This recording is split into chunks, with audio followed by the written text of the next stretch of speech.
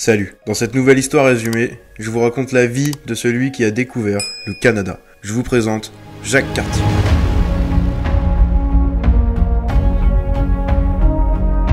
Bon, déjà, il faut savoir que Jacques Cartier n'a pas découvert le Canada. En réalité, il l'a redécouvert et exploré. En fait, le premier Européen à avoir visité ce territoire serait probablement Leif Erikson, un viking. Et ouais, pour ceux qui ne le savent pas, on sait aujourd'hui que les vikings avaient déjà découvert l'Amérique 500 ans avant Christophe Colomb.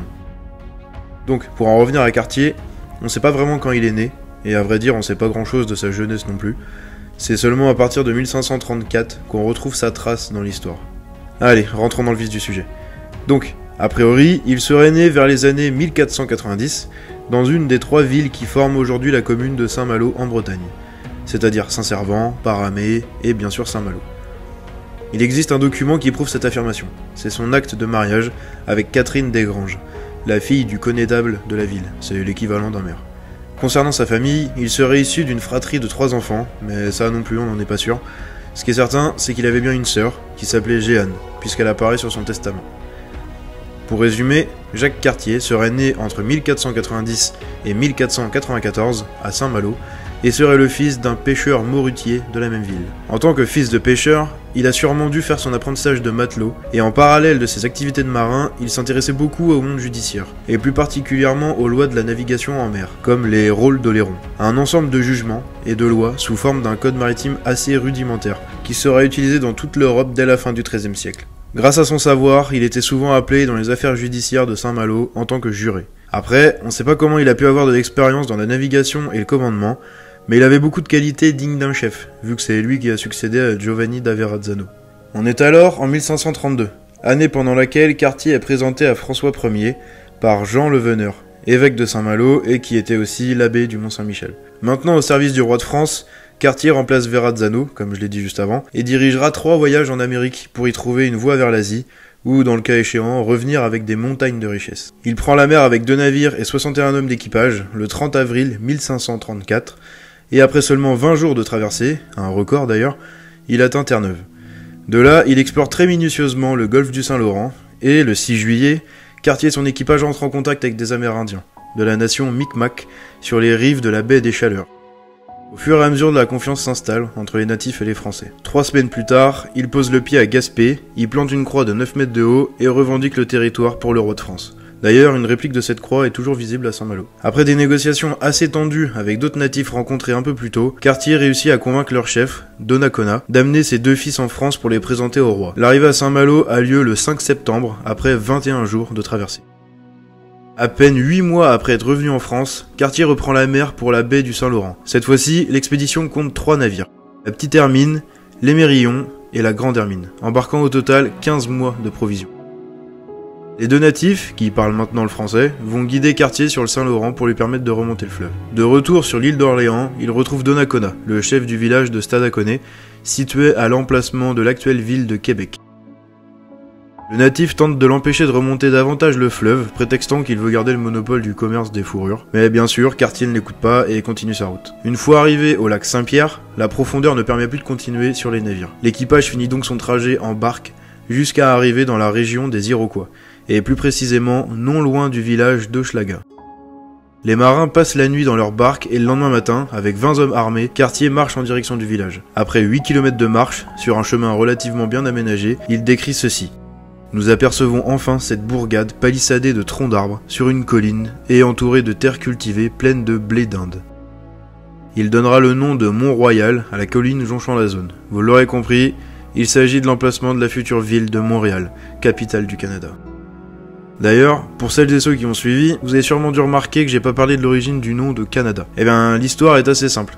À son arrivée dans le golfe du Saint-Laurent, Cartier est donc accueilli par des natifs, et ces derniers n'arrêtaient pas de répéter le mot Ganada, en les guidant vers leur village. Et ouais, le K se prononce G, et le T se prononce D. Cartier a donc simplement réutilisé le mot, et ça donne donc Canada. C'est comme ça qu'il appellera toute la région autour du golfe du Saint-Laurent, la terre de Canada. Maintenant, vous le savez. On retrouve donc Cartier à Hochelaga, qui, le 7 septembre 1535, rebrousse chemin vers la région de Québec pour passer l'hiver dans le village de Donnacona. Leurs rapports avec les Iroquois qui vivent autour du Saint-Laurent sont relativement corrects. Bien sûr, il y a quand même des tensions, mais ça se termine jamais dans la violence. Cartier et ses hommes découvrent et étudient la vie quotidienne des natifs. Parmi les découvertes, il y a les scalps, le tabac, les danses, et plein d'autres choses que vous imaginez sûrement. Néanmoins, s'il y a bien une chose qui va les surprendre, c'est l'hiver. Parce que, ouais, à cette époque, l'hiver, en Amérique du Nord, c'est quelque chose. Hein. Cartier et ses hommes vont vite comprendre que leur séjour va durer un peu plus longtemps, parce que le Saint-Laurent gèle rapidement et condamne les navires, qui ne peuvent donc plus repartir. Les trois équipages montent alors le camp au bord de la rivière Saint-Charles pour attendre la fonte de la glace. Aujourd'hui, l'emplacement de leur campement est situé au cœur du lieu historique, Cartier-Brébeuf. Malheureusement, entre-temps, de nombreux marins contractent le scorbut et contaminent au passage pas mal d'Iroquois. Les Français s'aperçoivent alors que les natifs s'en sortent beaucoup mieux qu'eux, Cartier découvre que les Amérindiens se soignent avec une infusion d'aneda, qui semble être une infusion d'aiguilles de cèdre blanc d'Amérique. Grâce à cette mixture, les natifs vont permettre à beaucoup de Français de guérir, augmentant encore plus la confiance déjà bien présente entre les deux peuples. Au final, cet épisode aura fait une vingtaine de morts côté français. Mais un événement va beaucoup fragiliser cette relation. En avril 1536, le dégel commence à délivrer les navires. Et c'est alors que Cartier emmène de force Donnacona, ses deux fils et sept autres Iroquois pour les présenter à François Ier. En juillet, ils arrivent tous à Saint-Malo, avec la conviction d'avoir exploré le nord-est de l'Asie. Cinq années ont passé depuis son dernier voyage, et c'est alors que Cartier, sur ordre de François Ier, part pour une troisième expédition au Canada, avec pour objectif de coloniser et évangéliser cette nouvelle terre. En revanche, cette fois-ci, le commandement sera confié à Jean-François de Roberval, un noble et proche du roi. Aucun natif n'entreprendra le chemin du retour. Pourquoi? Eh bien parce que la plupart sont morts, comme Donnacona par exemple, mais aussi parce que certains se sont mariés. Toujours est-il que Cartier prend la mer sans attendre son confrère, et avec cinq navires chargés d'armes, de vivres, mais aussi de prisonniers fraîchement libérés pour en faire des colons, ils arrivent à Stadacone en 1541, après une traversée pitoyable. Les retrouvailles sont correctes mais vont vite se dégrader avec l'annonce de la mort de Donnacona et de ses deux fils. Les Français sont chassés et vont donc partir s'installer ailleurs. L'emplacement idéal est trouvé au confluent de la rivière du Cap Rouge et du Saint-Laurent. On décide alors de bâtir le fort de Charlesbourg-Royal dans le but de préparer la colonisation. Avant de rentrer en France, Cartier fait du troc avec les Iroquois pour ramener des diamants et de l'or que les natifs auraient ramassés à l'extérieur du village. Après un bref passage sur Terre-Neuve, il prend la mer en direction de la France. Et dès son arrivée, il fait expertiser les richesses qu'il a rapportées. Sauf qu'il apprend que l'or n'est en fait que de la pyrite et les diamants du quartz. C'est de cette histoire que naît le nom du Cap Diamant pour désigner l'extrême est du Québec. La déception est si grande que ce dernier voyage marque la fin de la carrière d'explorateur de Cartier. Déçu, il se concentre alors sur sa ville et se retire dans son manoir. Ses années d'expérience, sa maîtrise du portugais et la réputation qu'il a gagnée au fur et à mesure de sa carrière font de lui un conseiller très précieux. Il est donc souvent consulté, exactement comme dans sa jeunesse. La boucle est bouclée. Il meurt le 1er septembre 1557, alors que la peste ravage déjà depuis plusieurs mois Saint-Malo et les villes du coin. Ses restes ne seront retrouvés qu'en 1949, pendant les travaux de la cathédrale de Saint-Malo. Aujourd'hui, un peu plus de 150 lieux portent son nom pour lui rendre hommage.